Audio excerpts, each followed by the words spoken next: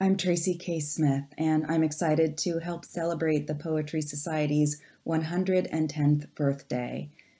I'm going to be reading Robert Hayden's poem Frederick Douglass, which was originally published in 1947.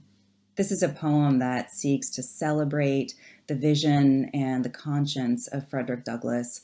And it's also a poem in which the speaker is trying to urge us to make good now upon the vision and the sense of courage and equality, the sense of democracy that Douglass understood and championed. Frederick Douglass.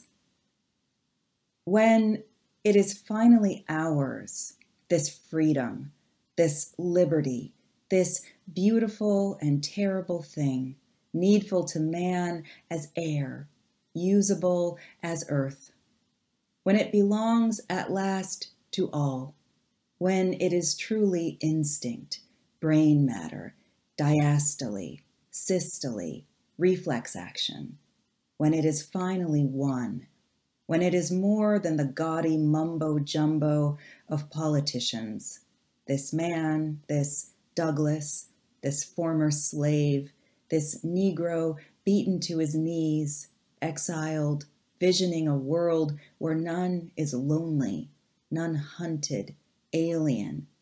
This man, superb in love and logic, this man shall be remembered. Oh, not with statues rhetoric, not with legends and poems and reeds of bronze alone, but with the lives grown out of his life, the lives fleshing his dream of the beautiful, needful thing.